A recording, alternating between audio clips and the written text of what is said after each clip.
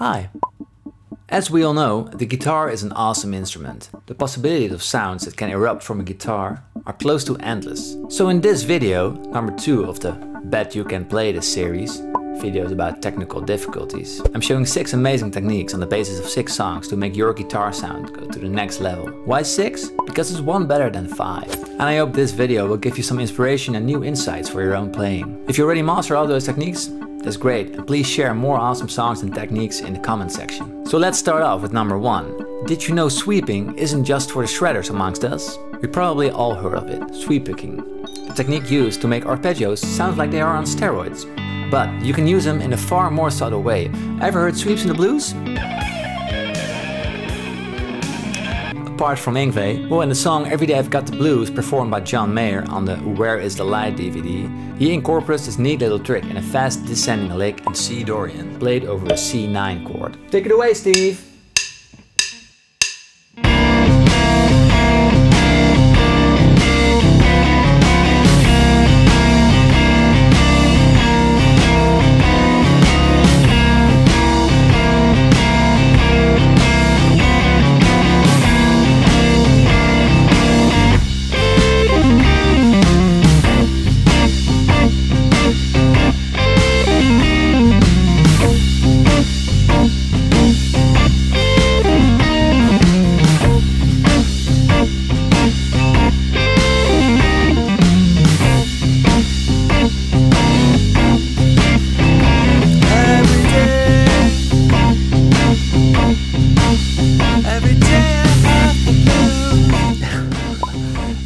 Do that mm-hmm. again.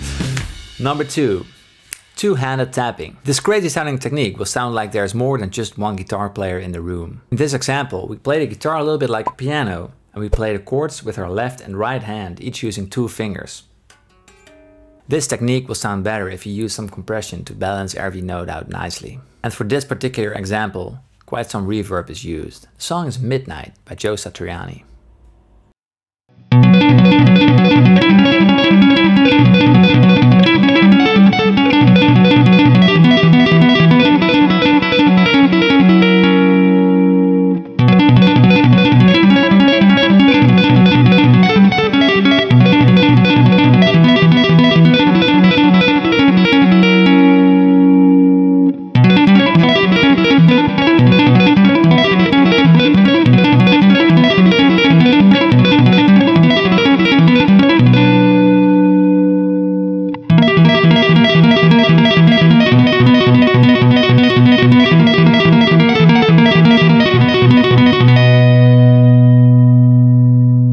Argue that the next technique is best of both worlds, hybrid picking.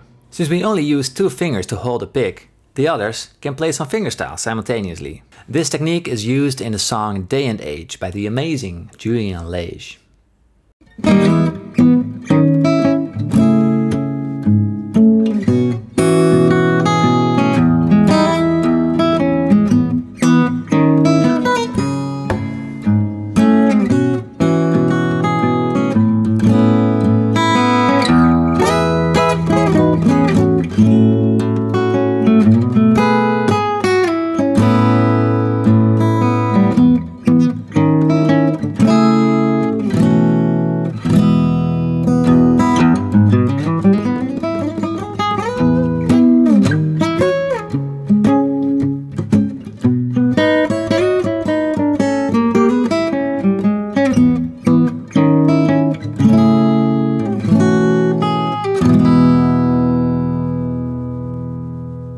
Slapping. Nope, this is not a bass guitar. But hey, I know guitarists aren't as aggressive as bass players, but sometimes you just gotta release your anger and slap something. Raul Midon does this beautifully in the song State of Mind. In combination with other techniques like hammer-ons and harmonics, this is a real finger twister.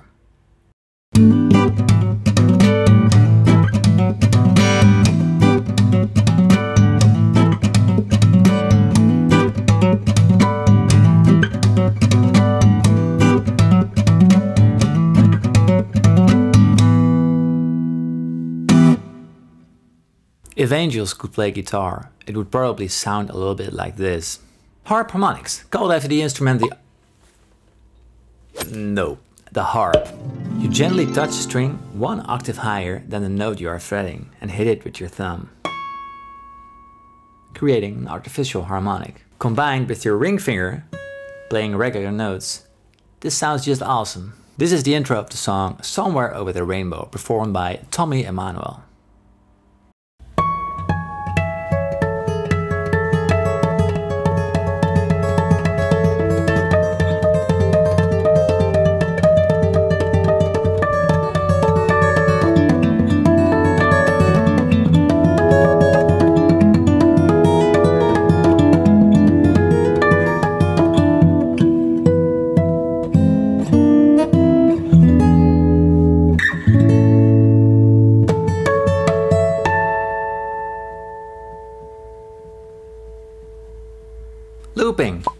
We all need a looper.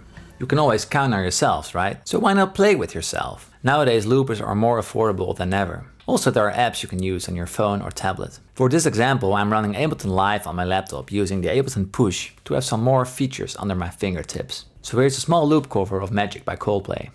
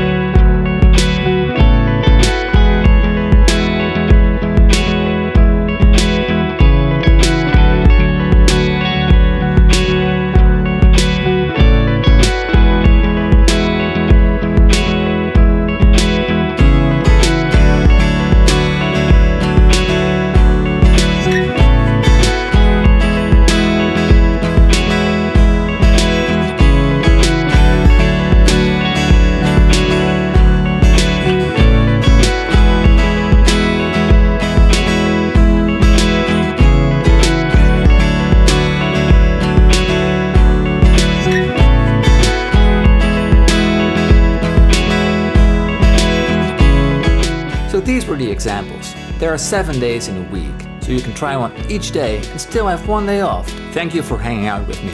And now it's time to pick up that guitar yourself. Okay, bye!